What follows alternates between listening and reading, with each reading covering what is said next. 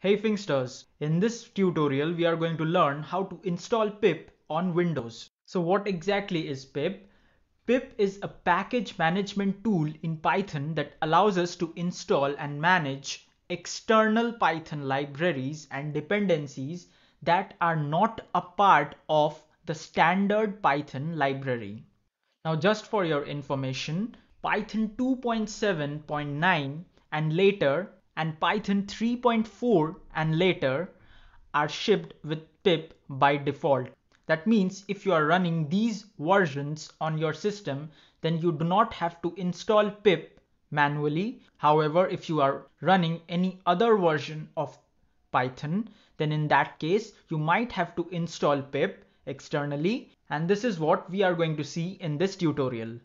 Now there are a couple of prerequisites before you can install pip on Windows. So let's quickly go ahead and have a look at these prerequisites so that we can move on to our next steps where we are going to see how to install pip in Windows. So the first prerequisite is that you must have Python installed on your system so that you can install pip. So how would you check whether Python is installed on your system or not? To do that, all you have to do is open up your command prompt. So how would you open your command prompt?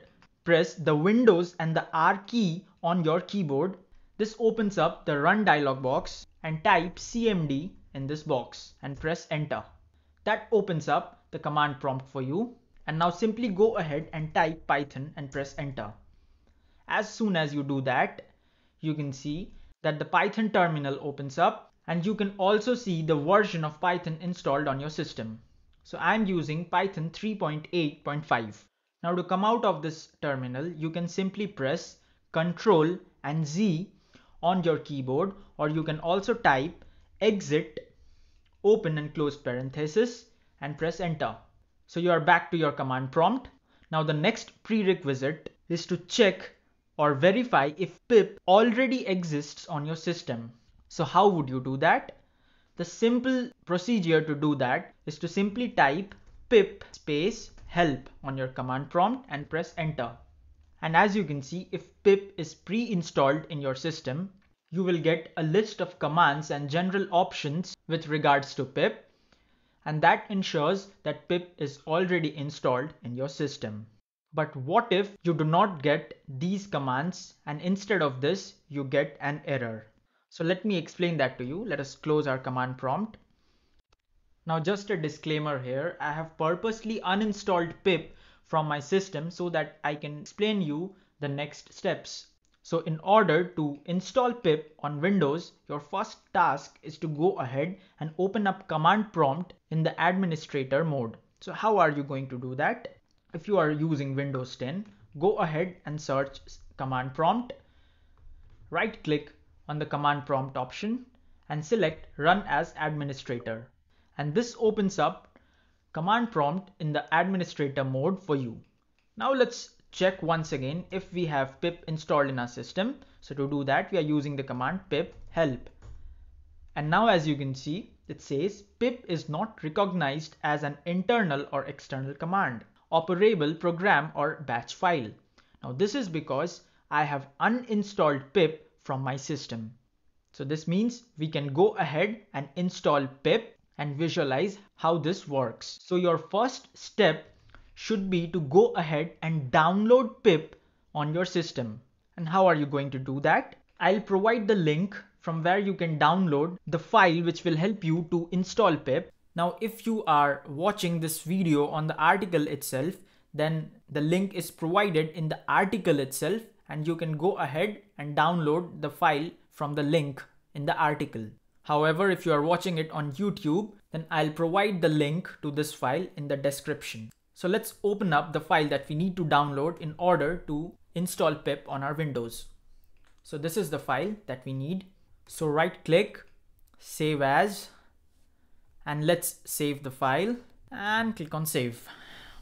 Okay, the file has been saved. Let me cross check if this file was properly saved. Yeah, I have properly saved the file. Now let's open up our command prompt once again and follow the next steps that will help us to install pip. So the next step is to install pip using the following command. As of now, you are in your system32 folder. So you have to open up the folder where you saved the file which will help you to install pip. I saved the file on desktop. Now how do I find the path? Simply right click on your file explorer, right click on desktop, go to properties, now move on to location and there we go. We have the location that we need. Now it might happen that you have saved this file in a different location, for example, in your downloads folder. No issues, you can go on to that folder, extract the path of that folder and then come back to your command prompt. Now, how can you navigate to that folder where you saved your file which will help you to install pip? Simply use the cd command and then paste the location of that folder and press enter. And now you have successfully moved inside the folder which contains this file. Now the command that is going to help me to install pip is python then the name of the file. That's it. So let me copy this and let's execute this command on our command prompt and then let's press enter. And as you can see, the download has started. This might take some time depending upon the speed of your internet and once done, it will notify you that pip was successfully installed on your system. Now let's go ahead and check if this was properly installed on our system. And what's the command to do that? You remember? Yes, it's pip help. And as soon as I hit enter, I see that pip was successfully installed in my system once again. Now you can also check the version of pip that was installed in your system using the following command pip and then version and press enter. So that's the version of pip installed on my system pip 21. Now many of you might face few problems even after installing pip successfully on your system. This is because the environment variable has not been successfully configured even though pip was successfully installed. So in order to rectify that, you have to follow another set of steps, which is quite simple. So I'll quickly go ahead and show you how you can do that. Let us close our command prompt. How would you get the path where pip was installed on Windows? Now do not worry. Once you install pip, the path will be displayed on the command prompt itself if it was not added to the environment variable.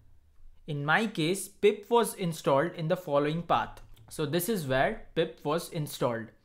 Now I'll copy this path and now I'll open up control panel, select system and security, select system, select advanced system settings, select environment variables and now you can see that within the system variables option you have the path variables. So click on new and then paste the path that you copied. As you can see that I have already added the path previously. So I do not need to add it once again and then go ahead and click on OK. OK once again and OK. Once you have followed all these steps, I'm quite sure that pip will be properly installed in your Windows system. Now, if for some reason you want to upgrade your pip, then I have also provided the commands to do so. As of now, I'm not going to execute these commands because I'm already running the latest version of pip in my system. In case you want to upgrade it, you can use this command. And if in case you are facing some problems and you want to downgrade your pip, in that case, you can use the command as you can see on the screen do not worry, I'll provide the link to this article in the description below. Please go ahead and read this article which will help you to install pip on your Windows system. Now before we wrap up this video, let us quickly go ahead and install an external library using pip and verify if pip is working properly on our system. So let us try and install SciPy in our system using pip. So we have our command prompt and let's type pip install scipy. And let's press enter. And there we go. The download has begun. And scipy will be installed in our system. Now i'll let scipy get installed in my system and i'll minimize my command prompt. With that, we come to the end of this lecture. I hope you learned something from it. And if you face any problem or if you have any doubt, please mention them in the comments below. Thank you.